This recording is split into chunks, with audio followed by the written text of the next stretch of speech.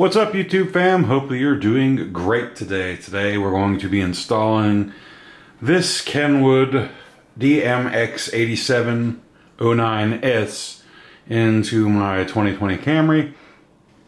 This is a uh, digital multimedia unit, meaning there's no CD player or anything like that. It's simply for digital media and satellite radio.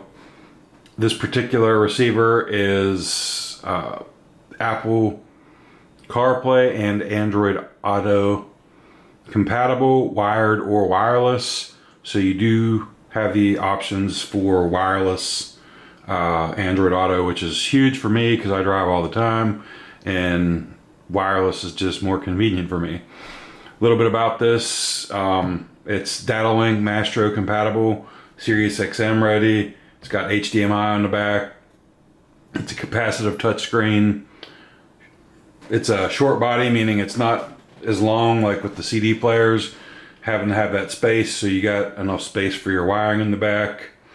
And you can on Android mirror your Android screen to this screen, meaning that if you've got YouTube playing on your phone, you can watch YouTube on your uh, your car radio and have it a little more convenient if you're sitting there uh, in a parking lot or whatever.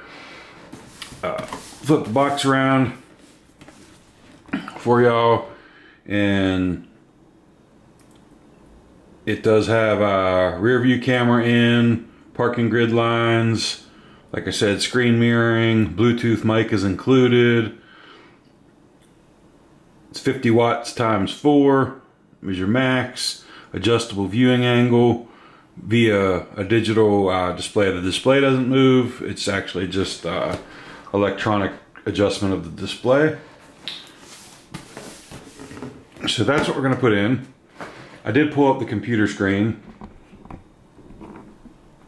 to guide you if you so wish. And I'll zoom in just a little bit here.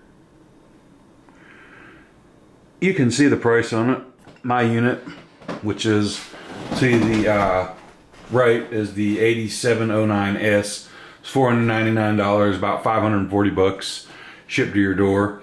Uh, you also do have the ability to get the Kenwood Excelon DMX 809S for 549 However, I opted to save $50 essentially because the only difference between the 549 and the 499 is one, mine has a one year warranty, that one has a two year warranty. In my opinion, I have never had any issues with Kenwood products, so that's here nor there for me. Uh, the only other difference is going to be on your preamp. The one for 549 has a 5 amp output and mine has a 4 amp output. Doesn't matter to me because I'm not hooking up anything up to it essentially. So it's just basic going into the, the car car speakers. And even if I upgraded the speakers, I mean, it wouldn't have a, any kind of sub or anything like that. So this is more than enough. And the only other difference is this is HD radio. This is not. I only listen to um, YouTube music or Sirius XM. So, I mean, this is all I needed. Um, it's very rare that I actually listen to the FM. And if I do, regular FM radio is fine. I don't need HD radio. I think that's, to be honest, to me, that's just kind of a, a scam. Um, if you want HD radio, just listen to, uh, you know, your XM. And there's a picture of the front and the back of each unit. They are both a uh, 6.8 inch touchscreen. Um, so yeah, that's a little bit about the unit. And uh, we'll go ahead and pause the video momentarily and get it unboxed and we'll show you what it looks like.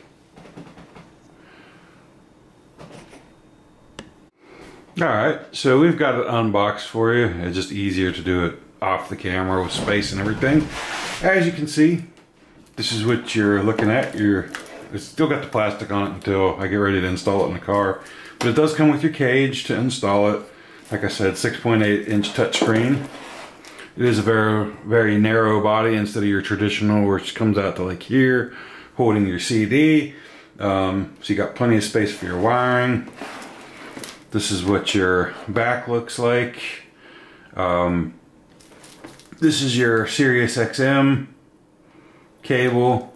It's for your iDatalink, which I'll go over that momentarily. Essentially, this port here is what all your steering wheel controls and all your factory features that work in your factory uh, info, infotainment center. That's what this is going to do, and I'll go over that momentarily.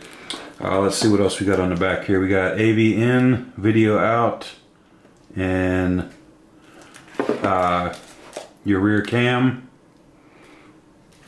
this is HDMI. You can unscrew that, plug your cable in, and lock it in. This is also a proprietary uh, Kenwood uh, GPS radio or Sirius XM. They do provide you an antenna to go with it if you want to use that. However, I already have that antenna in my car for uh, the XM, so I'll be utilizing that. You've got your outputs if you want to use it your wiring harness. Uh, you've got a couple things here. You've got a front view camera cable if you want to uh, utilize a front type of camera as well. You've got your microphone cable to plug in your mic. Then you've got your reverse signal. This is so when you put it in reverse, it knows to put the unit into uh, to pop up the backup camera. And then you got this parking switch cable here. Um, this is essentially so that your parking brake has to be on whenever you want to watch video on the screen. Um, this is easily bypassed. All you're going to do is put this to ground, um, which we will be doing in this case. Um, on the wiring harness, uh, it's very simple to do. Um, on a Kenwood, it's just literally grounding it out and it bypasses that switch altogether and then you can just watch video while you're going down the road or your passenger can or your passenger can access features and functions that normally would be locked out as they are and should be if you're the driver however you know it's nice for the passenger to be able to access that while you're moving so we'll be bypassing this essentially we'll just kind of cut this little tip off here and we're gonna splice it with the ground and uh, that's going to be the end of that. So yeah, um, that's the actual unit itself. It does come with the beauty ring. I don't know whether my vehicle uses it. I have a dash kit that I got with it. It does come with your your screws and your keys to pull the radio out of the cage. Again, I don't know exactly specifically yet if I actually need the cage in my unit. I won't know until I pull the dash off, but it does come with it. This is your microphone uh, to plug in. It's your wiring harness. This is an extension for that parking brake cable.